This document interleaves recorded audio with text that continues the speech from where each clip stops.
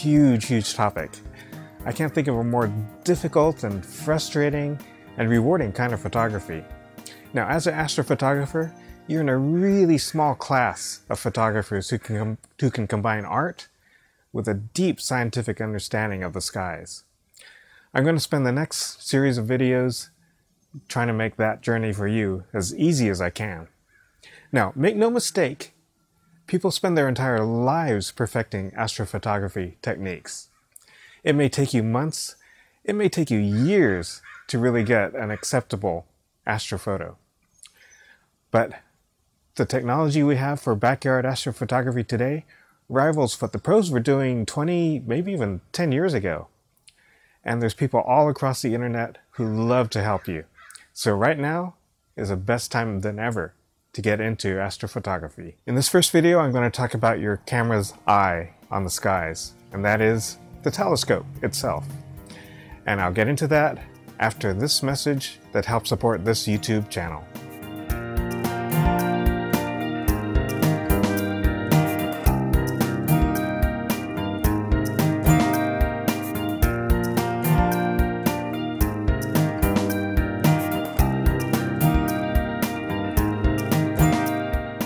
First talk about the optical tube assembly, or OTA. Remember OTA because you'll hear it a lot. So that counts the telescope's tube, the optics inside, and the accessories, but not the mount. They have a couple main types of OTAs, reflectors and refractors. And which kind of telescope you choose for astrophotography depends on the cost, personal taste, uh, and exactly what kind of astrophotography you're going to be doing. First, let's take a look at how the different telescopes work, and then let's compare them uh, for astrophotography. And we'll start with the first kind of telescope ever invented, the refractor. Galileo didn't invent this kind of telescope, nor did he claim to, but he was one of the first we know of to point one at a celestial object and to write about it. Englishman Thomas Harriot probably beat Galileo to it, but it was Galileo who came to the conclusions based on what he saw to change how we see the universe by confirming Copernicus's sun-centered model. Refractors are the simplest of telescopes, with a large lens called the objective, that's some jargon you will need to know, at one end of the tube collecting and focusing light onto your camera's sensor at the other end. The main job of a telescope isn't so much to magnify things, though they do do that, their main job is to act like a light funnel, collecting the very few photons that most celestial objects deliver, and concentrating them for an eyepiece or your camera's sensor. The objective brings the light to a point of focus, and remember this jargon because it's important, called the prime focus. If you're doing visual astronomy by looking through an eyepiece, that's not where you put your eyepiece. Your eyepiece has its own focal length. And where the objective's prime focus is, is where you put your eyepiece's focus point at. And that's where you see an in-focus image with your eye. To do prime focus astrophotography, which is the only kind I do, you have no eyepiece, and instead put the camera's sensor at the prime focus. This will become really important later in this video. Refractors in Galileo's day had some pretty big problems. So in 1668, Sir Isaac Newton invented the first working reflecting telescope that used mirrors instead of lenses. And we call that kind of telescope today the Newtonian reflector, which you'll often see called a newt. With Newtonians, light travels down the tube and hits a concave mirror called the primary mirror. Instead of a lens, this mirror does the job of collecting and concentrating the light. Light then goes right back up the tube, but before it gets to its prime focus, concave mirrors have a prime focus just like lenses do, it hits a flat mirror at a 45 degree angle called a secondary mirror that bounces the light out through a hole in the side of the tube where you put your camera. Now, as you look at this diagram, you might think, doesn't the secondary mirror get in the way of what you're looking at? And the answer is no, it doesn't. The simple reason is that it's completely out of focus. Now, I have my Newtonian setup tracking the moon and there's the live display right on my laptop. So now what I'm going to do is I'm going to wave my hand across the telescope, and you can see it's making it flicker, but you can't see my hand because it's completely out of focus.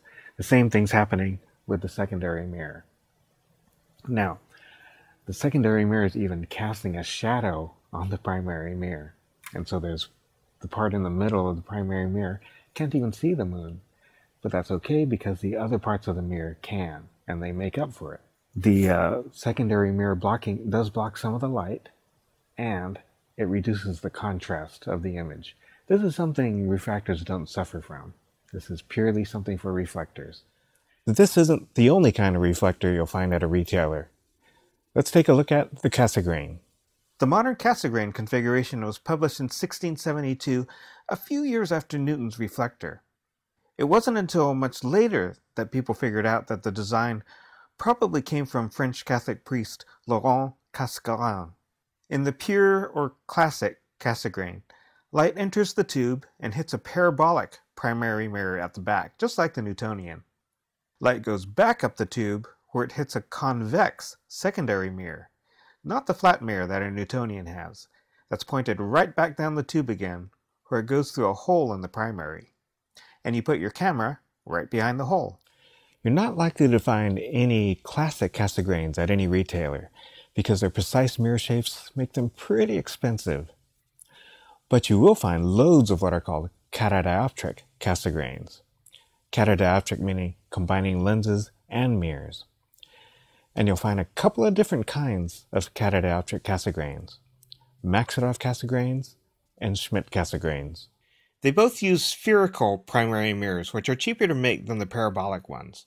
Spherical mirrors don't focus very well because they have what's called spherical aberration. To compensate for that, they use corrector plates at the front that light passes through first.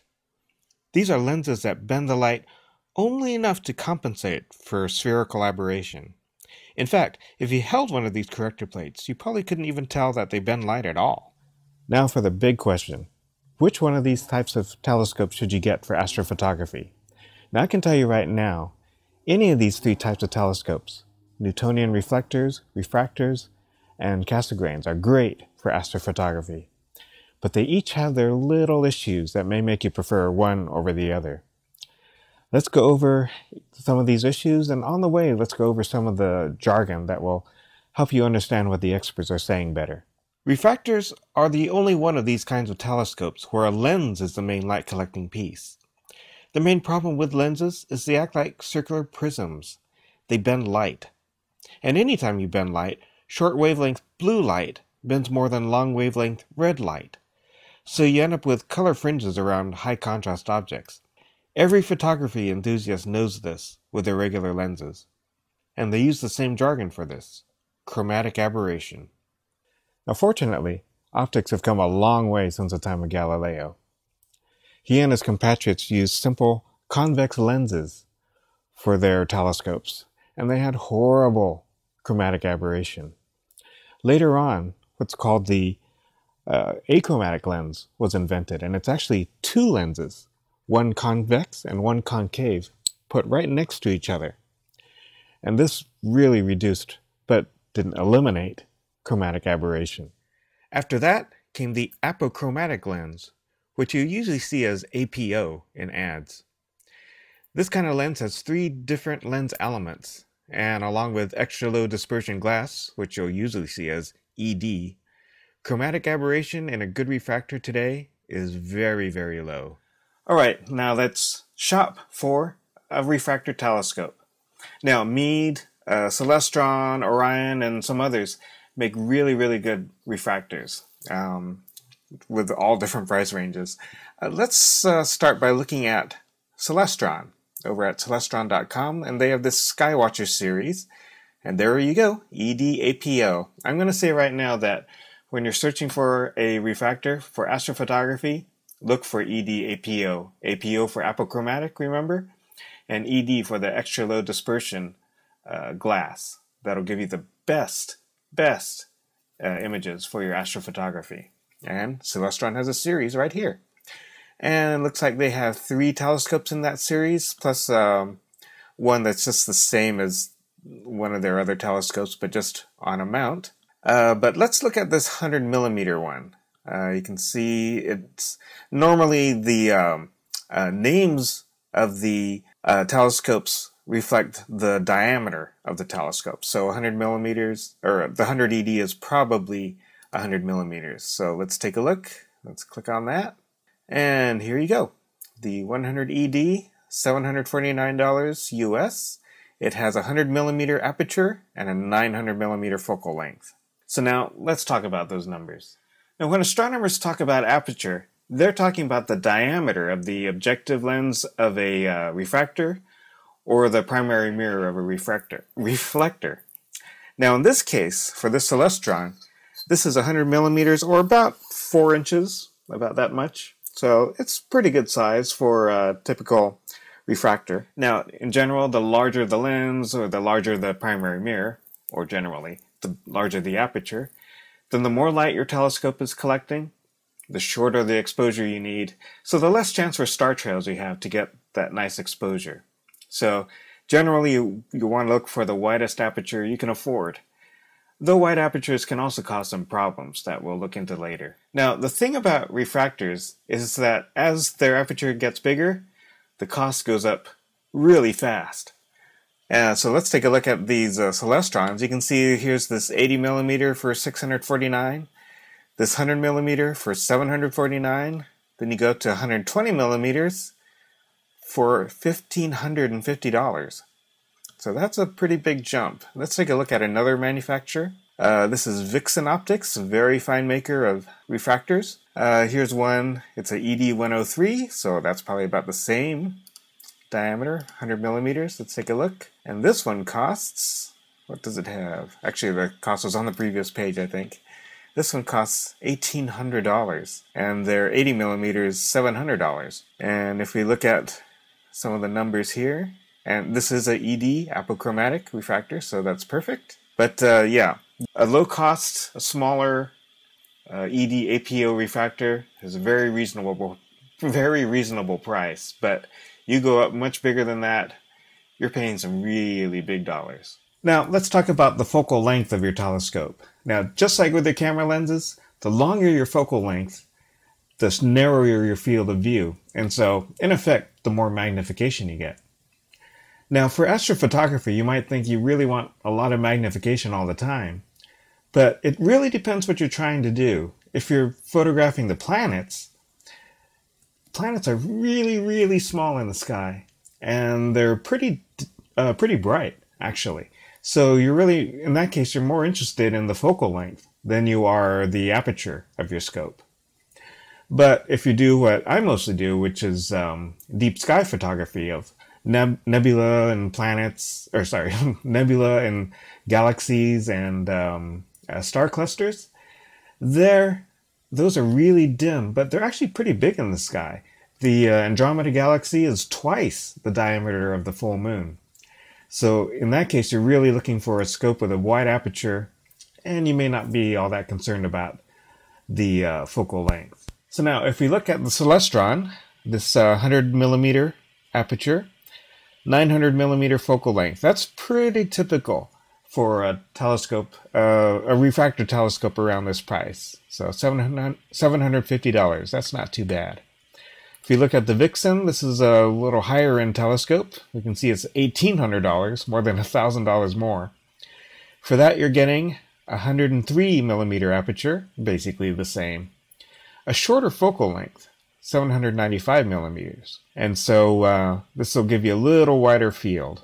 And chances are the price difference may be a little better construction, most likely much better glass in the objective. Now the last number we'll look at is the focal ratio. Now if we look at this Celestron, we see it gives a number that looks a lot like the maximum aperture of a regular camera lens, f9 in this case.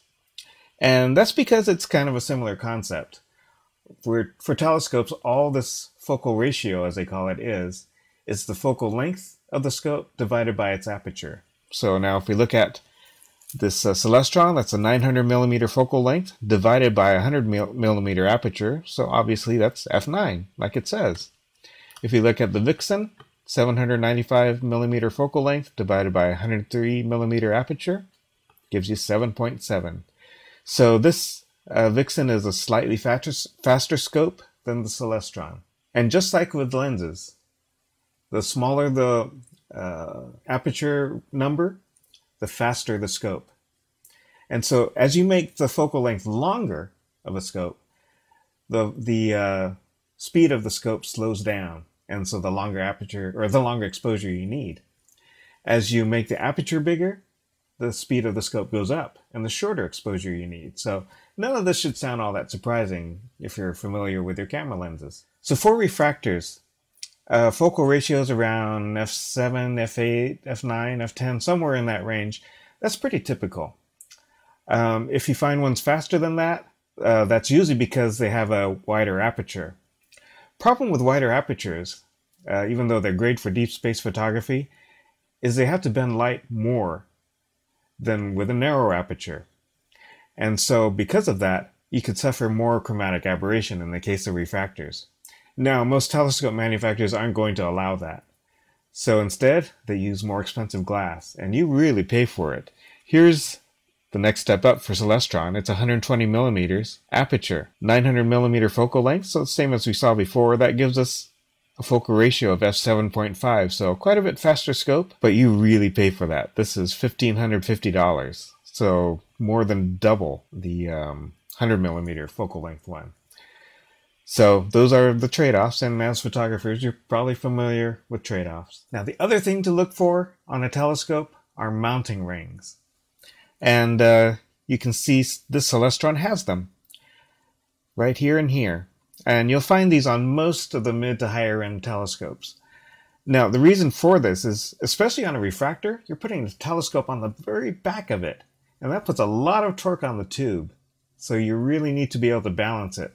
And with these rings, you can just loosen the rings, slide the whole telescope forward, and then keep it everything in balance, even with the camera on the back. You also see this bar below it. That's called a dovetail bar. And I can show you mine. So this is for the mounting rings for my telescope, and it's dovetail bar right here. And so uh, there's a few different designs. They're all pretty similar but uh, this just clamps right into the tube, into the uh, mount. And this part can also slide forward and back in most cases.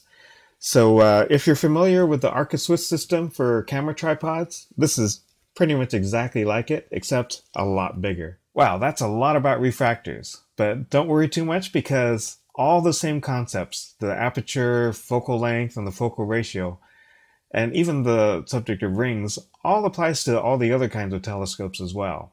So we don't have to review any of that stuff. Speaking of reflectors, let's shop for a Newtonian. And this time let's go with Orion telescopes over at telescope.com. And here's an Orion Newtonian reflector. It's 10 inches, 254 millimeters. And it's f3.9, so it's a very fast scope. And it costs $650 US. That was the same price as the 80 millimeter refractor. So keep that in mind. Now, it doesn't tell you what the focal length is, but all you have to do is multiply the aperture, 254 millimeters, by the uh, focal ratio, f3.9, and that gives you 990 millimeters. So for $650, this is an incredible scope and an incredible value. Newtonians do tend to be the best value among all the different telescopes. But Newtonians are also the fussiest of the three. Most telescopes are set up for visual astronomy, where you look through an eyepiece. But if you're doing prime focus astrophotography, there lies the problem. Eyepieces sit a good ways behind the prime focus. But camera sensors have to be racked in a long way from where the eyepiece sits to get to the prime focus. For refractors and Cassegrains, that's no problem because their focusers have a huge focus range. But Newtonians have focusers hanging off the side, so you can't crank the focusers in very far or you'll interfere with the light path. Or in some cases, the camera would have to be inside the tube. It's very common for people to buy a Newtonian, hook up their camera, and find they can't focus. Heartbreaking. Now, my main astrophotography telescope is a Newtonian. And you can see the primary mirror on the back, focuser on the side. So obviously there is a solution, more than one actually. In my case, the solution was I had to move the prime focus farther out of the scope to reach my camera. To do that, I simply moved the mirror from the end of the tube farther in a few centimeters, which pushed the prime focus out of the scope. Problem solved. Now I can't do visual astronomy anymore, but since I never do that, I don't really care. Now that's not the solution for everyone. Most Newtonians today are made out of aluminum. Mine's made of fiberglass, so my mod took about 15 minutes to do. With an aluminum tube, and in most cases the mirror is mounted outside the end of the tube, the only way to mod the tube this way is to cut the aluminum tube and then mount the mirror at the new cut point. That may be beyond what most people want to do. Another solution is to use what's called a Barlow lens. Now, this is sort of an extension tube with a little lens in it. This is a pretty crappy one. Most of the ones you'd find are a lot better than this. But it can move the prime focus farther out of your scope. And you just put it into your focuser and stick your camera into that. But wow, this is a little scary looking. It moves your camera so far out. And depending on the quality of your Barlow lens, it may make it uh, kind of unstable and wobbly. And it's definitely putting more torque on the tube, which you really don't want. But your best solution is to buy a Newtonian specifically designed for astrophotography. And the Orion we were looking at earlier happens to be one. It's called an astrograph. And you can see the Orion 10 inch f3.9 Newtonian astrograph. This is a telescope whose focal point is just in the right place to put a camera. So this is exactly what you need if you want to use a Newtonian. And remember, $650 for an f3.9 10 inch very fast Newtonian. So this is a really great deal. Uh, if you want to spend more, here's one I just recently learned about from uh, PowerNewts.com, the Boren Simon Power Newt. And you can see 8 inch, 10 inch here, $2,900. So they're pretty expensive, but they are stunning because if you look at the 10 inch, and remember you're looking at the 10 inch Orion, this is 722 millimeter focal length, f2.84, amazingly fast scope. So this is a great one if you can afford it. If you just want to spend the $650 US on the Orion, that's a great scope. Another thing about Newtonians is that their parabolic primary mirror can cause what's called coma, which is an aberration of the stars more towards the edge of the field of view, which makes the stars look like little comets. To deal with this problem, you can use a coma corrector, which is kind of like a Barlow lens, but it doesn't bend the light so much and it doesn't affect focus so much. Another option is to get a catadioptric Newtonian. Now, you remember we talked about catadioptric Cassegrains. There are catadioptric Newtonians as well. But they are kind of a specialty item. They're not easy to find. And uh, this is one of the few I found from um, Rother Valley Optics Limited in England. This is a Maksutov Newtonian, as you can see, the corrector plate on the front, the curved corrector plate. And so this these uh, corrector plates do take care of coma. And uh, so this one, not too bad. This is a, uh, what was it? I saw before, 190 millimeters aperture, 1000 millimeter focal length for an f5.26, pretty good. And it is uh, 1,070 pounds sterling, which is about $1,600 US. But uh, so that's a good option, but you won't find many of these, and you probably won't find a great deal on any of them. Another option to reduce the effects of coma is instead of using a full frame camera, use a crop sensor camera because that'll effectively just use the sweet spot of the mirror and all the stars with coma, or at least with the worst of the coma, will be off of the edges. You can also just crop your full frame photos, but of course that's kind of a waste of storage and pixels. The last option is just not worry about coma. It's not a huge problem if you're just coming up to speed on astrophotography, but you probably will get comments about it. Having astrophotos without any coma shows a level of skill there that uh, you should strive for. One more thing about Newtonian telescopes is that bright stars and images taken with a Newtonian have diffraction spikes. Now, this happens because the secondary mirror is supported by these four struts, and light passing by those struts gets diffracted, and it forms these spikes. Now, personally, I like diffraction spikes. And if you look up illustrations of uh, stars, let's see what we get here in images. Uh, we have some five-pointed ones, but what else do we have? We have diffraction spikes. What else? More diffraction spikes. Uh, what else? Any more? I guess you could argue those are diffraction spikes, but um, yeah, you see them all over the place. There's some there, there's some on this uh, motion graphic, some here. People like diffraction spikes. And not only that, it's not that it's not astronomical. Hubble Space Telescope, where some of the best astronomy is being done today, isn't a Newtonian, but its secondary mirror is held by four supporting struts. So images with the HST get these spikes too. This is really just a matter of whether they bother you or not. Now let's shop for a Cassegrain. And for that, let's go to Celestron because they have this venerable C8. They have sold a lot of these. Uh, like the name implies, it's an 8 inch or 230, 203.2 millimeter aperture, 2032 millimeter focal length. Typically, uh, Cassegrains have a very long focal length, even though they're physically the shortest telescopes you can find. And that's because it, the light is folded back on itself a couple of times. And also the optics make the effective focal length longer than it really looks.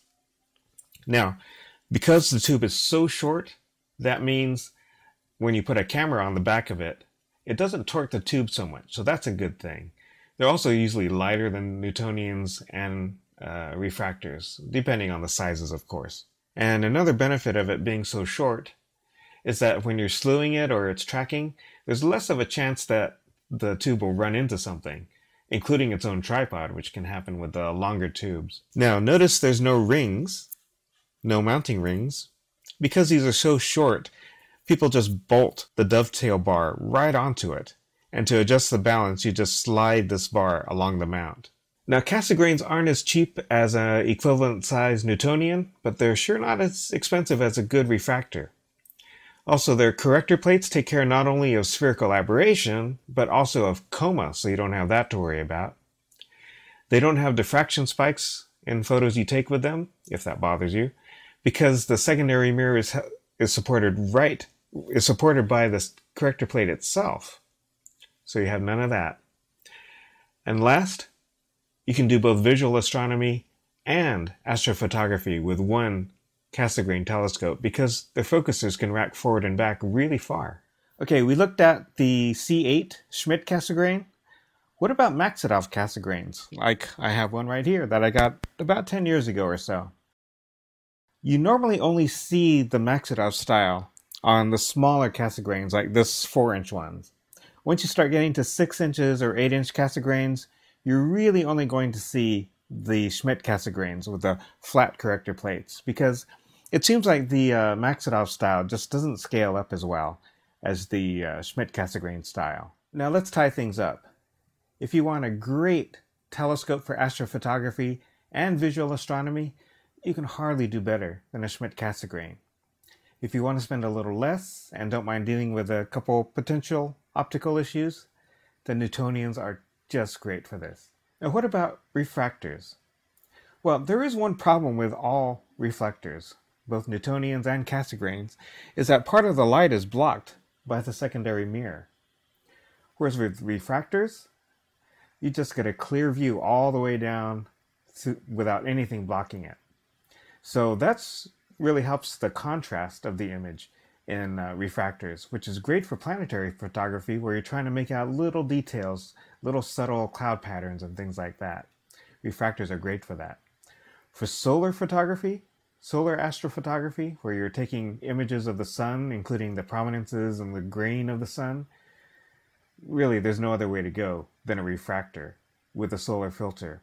solar filters are usually not big enough to cover a, uh, a Cassegrain, the opening of a Cassegrain.